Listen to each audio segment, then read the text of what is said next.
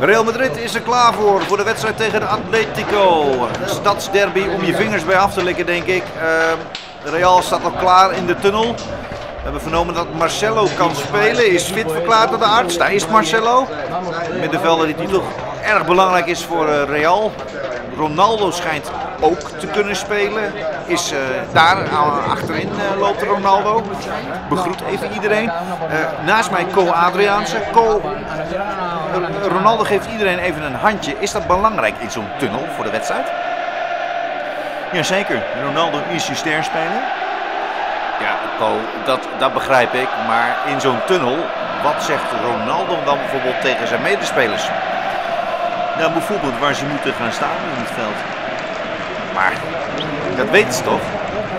Dat zou je denken. Ja, maar toen ik trainer was van Ajax waren er heel veel spelers die niet wisten waar ze moesten gaan staan. Omdat ze dus last hadden van tunnelvisie. Daar komt het woord vandaan, tunnelvisie. Dus als ik het uh, goed begrijp, Co, is Ronaldo even aan het vertellen waar de keeper moet gaan staan bijvoorbeeld. Ja, zo zou je het kunnen zien. Goed, we gaan kijken naar eh, de wedstrijd. Co, bedankt tot zover. De scheidsrechters lopen het veld op. We gaan beginnen. Atletico tegen Real vanuit Vicente de Calarom.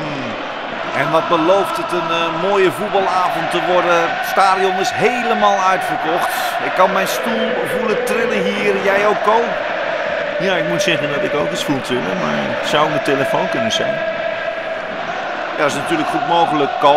Ik heb nog wel een vraagje aan jou voordat we zometeen echt gaan kijken naar de aftrap. Uh, Ronaldo is beschuldigd van het wegsluizen van geld. Is dat waar, denk je? Dat zou heel goed kunnen. Ik heb Ronaldo een paar keer gesproken bij de Gouden Schoen.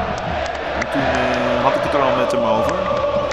Maar, uh, wacht even. Heeft Ronaldo jou om advies gevraagd dan? Hij vroeg om mijn mening. En die geef ik als trainer. Nou, dat lijkt me toch wel nieuws dan. Maar daar gaan we het nou niet over hebben, want uh, we gaan even kijken naar het legioen van Atletico. Er gaat zo muziek komen. En daar is het. Elke thuiswedstrijd uh, speelt er een uh, band. Wat vind je van deze band, Co? Ja, ik moet zeggen dat het wel aardig klinkt.